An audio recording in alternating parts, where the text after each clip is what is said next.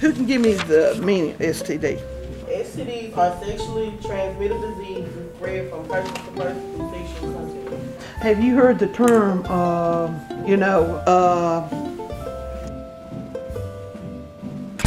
uh, if you went out with a girl and you thought she was a very good girl, might be your wife one day, huh? Would you attempt to, uh, whatever?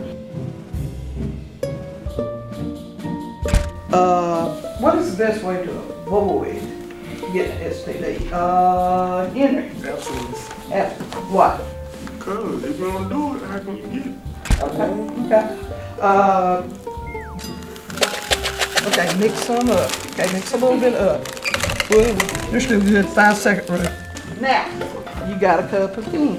Now you can keep your cup or you can share some with a friend. Now, you have an STD. Oh!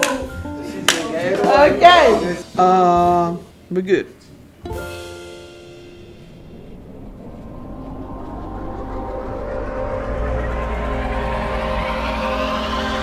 We don't have high paid lobbyists. We don't have a lot of money. Here are some of the things we do have the most people living with HIV and AIDS, the most poverty, the most sexually transmitted infections, the most people without health insurance, the most vulnerable population, the fastest growing epidemic, the least access to health, the highest mortality rate, and the least resources to deal with this crisis.